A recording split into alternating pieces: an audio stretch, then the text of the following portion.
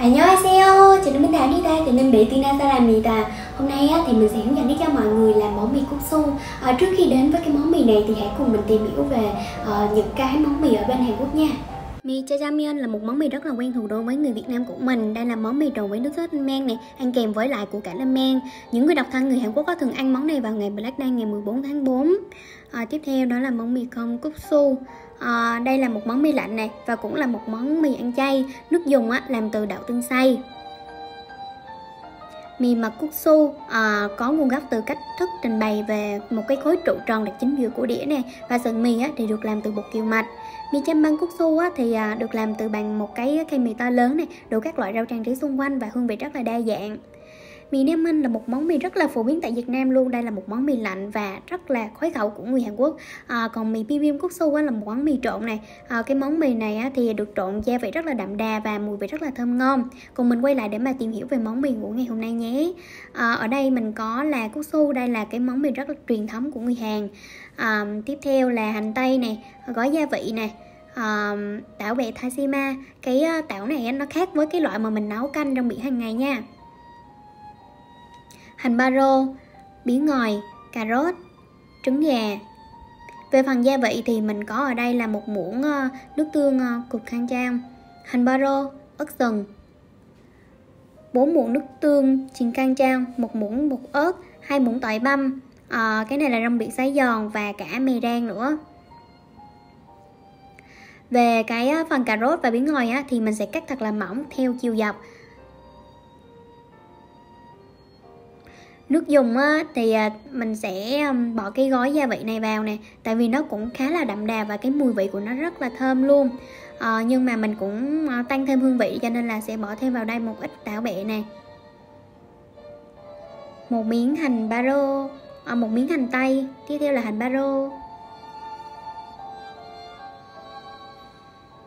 Về cái nước sốt á, thì mình sẽ cho tất cả các ờ, nước sốt lại hòa quyện lại với nhau. Và lúc nãy mình có uh, cân đo đong đếm đầy đủ các gia vị rồi nè. Mình cho thêm vào đây một muỗng mè nữa để tăng thêm cái màu sắc của cái ờ, nước sốt này.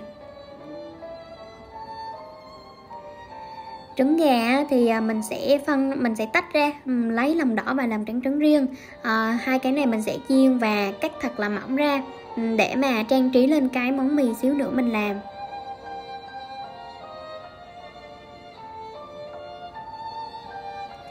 Mì thì đợi nước sôi nè, mình cho vào đây một ít dầu nè, rồi bỏ mì vào luộc khoảng tầm 3 phút. Ở đây là món cái mì này cũng nó cũng dễ chín lắm chứ nó không có lâu đâu. Sau đó thì mình vớt ra bỏ với nước đá, rồi à, mình sẽ um, tạo thành một cái um, mình vớt nó ra này mình quấn quanh tay á, theo kiểu của người Hàn á nhưng mà mình làm không có chuyên nghiệp cho lắm cho nên nó ra tùm lum tùm la luôn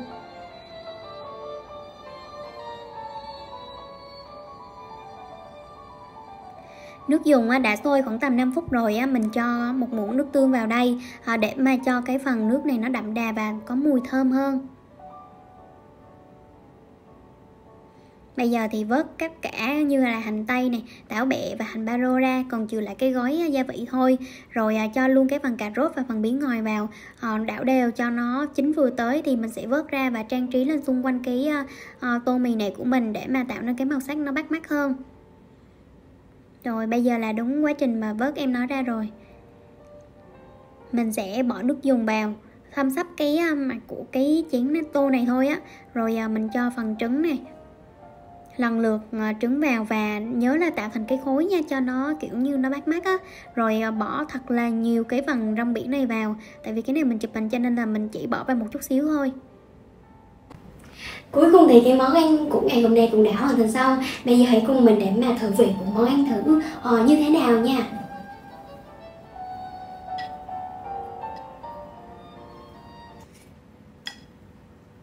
Cái nước của cái món mì này á, nó nó giống rất là giống mì udon nó kiểu như rất là thanh tao nè ờ, và nó không có dầu mỡ hay bất cứ thứ gì cả. Ờ, cho nên cái mì này cũng rất là hợp cho những ai mà ốm này ăn cũng rất là phù hợp luôn rất là dễ tiêu hóa. Cái nước này á, khi mà mọi người ăn á mọi người sẽ chiết kèm với cái chén này á thì nó sẽ có gia vị đầy đủ rồi. À, mình ăn nhạt á thì mình sẽ bỏ vào thêm giống như là ừ, Việt Nam của mình là cho thêm ờ, nước mắm với lại ớt á, ờ, nước mắm mặn với ớt á, bỏ vào chung để mà ăn nó đậm đà hương vị hơn. Ở đây thì mình thấy cái nước này nó đã hợp với mình rồi cho nên mình không cần bỏ thêm.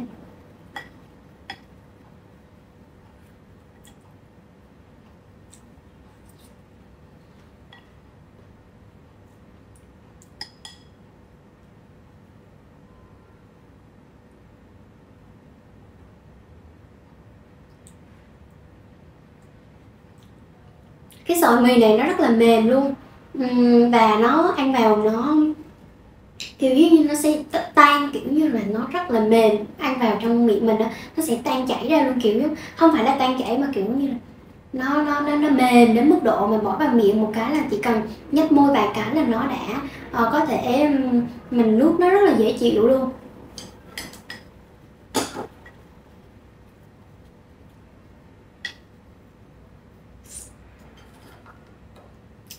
À, mình nghĩ đây là một cái món mì rất là phù hợp cho những ai à, mà không có quá nhiều thời gian như à, của mình. À, và cái món mì này á, mình cảm giác là à, nó rất là giống mì udon của Nhật Bản này và rất là phù hợp à, với người Việt Nam của mình. Cảm ơn mọi người đã xem hết cái video này của mình nhé. Nhớ hãy kêu xe mình sẽ kêu xe ô